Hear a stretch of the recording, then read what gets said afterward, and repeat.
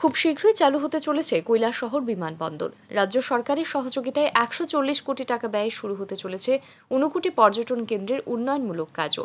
পয়লা August মঙ্গলবার কৈলাসহর সফরে এসে এমনটাই জানালেন রাজ্যের পরিবহন এবং পর্যটন মন্ত্রী সুশান্ত চৌধুরী। কৈলাসহ সার্কিট হাউসে আয়োজিত এক প্রশাসনিক বৈঠকে এদিন অংশ নেন তিনি।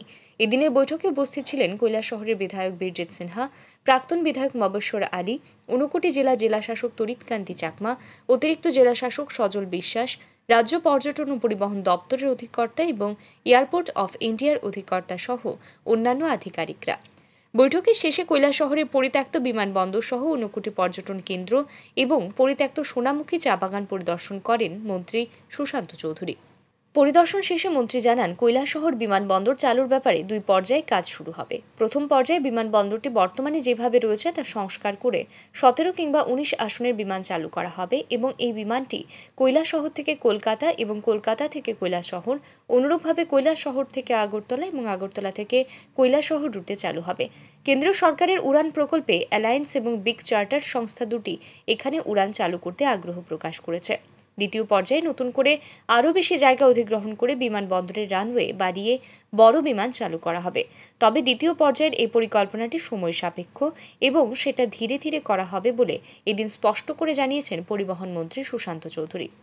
এবং বিশেষ করে বীরজিৎ বাবু এবং অবসর আলী, তারা বিধানসভার মধ্যে বিগত দিনে এই এয়ারপোর্টকে চালু করার জন্য পুনরায় সেটা বিভিন্ন সময় সোচ্চারও হয়েছিল।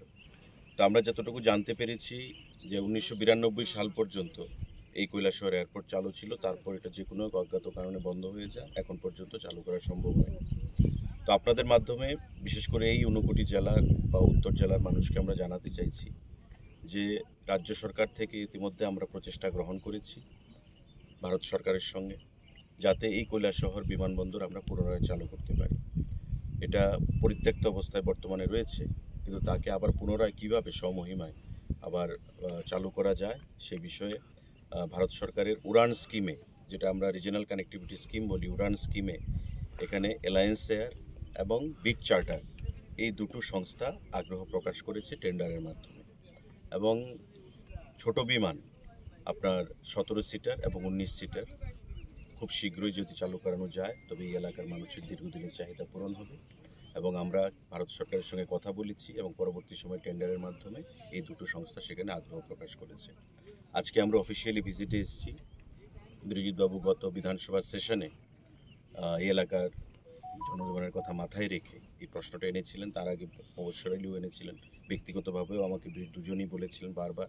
এবং আমরাও চাই যে আগরতলার পর বিভিন্ন রাজ্যে যেমন আসল এয়ারপোর্টের বাইরেও ছোটোখাটো এয়ারপোর্টগুলো থাকে আমাদের রাজ্যেও যেন আগরতলা যেটা একটা আন্তর্জাতিক এয়ারপোর্টের হিসাবে আত্মপ্রকাশ করবে কিছুদিনের মধ্যেই, তার বাইরে যেন কৈলাসহর এয়ারপোর্ট একটা বিস্তৃত জায়গা নিয়ে এখানে তৈরি দুটো প্রপোজাল আছে।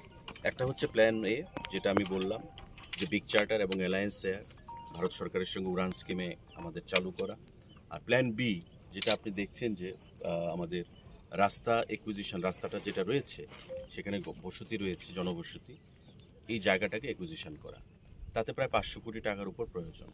এটা একটু সময় সাপেক্ষ ব্যাটার আমাদের প্রচেষ্টা থাকবে যে প্ল্যান এ যেটা রয়েছে বর্তমানে, যে ছোট এয়ারক্রাফটকে চালু করে এখানকার যোগাযোগ ব্যবস্থাকে আরও উন্নত করার জন্য এবং যেটা আমি বলেছি যে অ্যালায়েন্স এয়ার এবং বিগ চার্টার তারা উড়ান স্কিমে যেটা আন্তরিকতা মানে প্রকাশ মানে তারা আগ্রহ প্রকাশ করেছে, তাতে কৈলাসহর, কলকাতা কৈলাসহর কৈলাসহর, আগরতলা কৈলাসহর, এই দুটো রুটে তারা আগ্রহ প্রকাশ করেছে।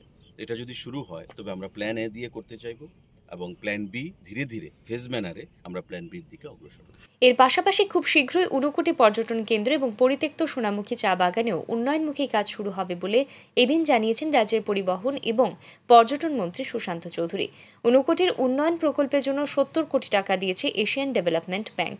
কেন্দ্রীয় সরকারের স্বদেশ দর্শন স্কিমে পাওয়া গেছে আরও সত্তর কোটি টাকা। পর্যটন শিল্পের উন্নয়নের মাধ্যমেই রাজ্যে কর্মসংস্থান গড়ে তুলতে চাইছে বর্তমান রাজ্য সরকার। Bureau report, R E news.